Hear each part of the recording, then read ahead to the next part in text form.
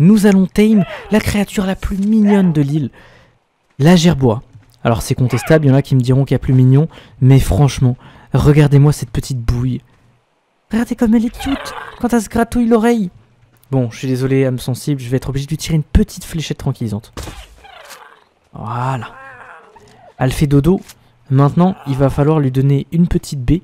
Même quand elle fait dodo, elle est adorable. Comme je suis un gros clodo, je vais lui donner les baies du quartier. Et elle est tame Regardez comme elle est mignonne Elle est pas giga adorable. Et vous avez rien vu, quand elle prend un niveau, elle est méga adorable. Regardez, je vais lui faire prendre son petit level. Oh, regardez, elle se roule par terre Elle est trop shoot je veux exactement la même chez moi. Et d'après vous, c'est quoi la créature la plus mignonne de Arc Pour moi, je pense que c'est la gerboa. Vous me dites ça dans les commentaires et n'hésitez pas à follow pour plus de vidéos sur Arc.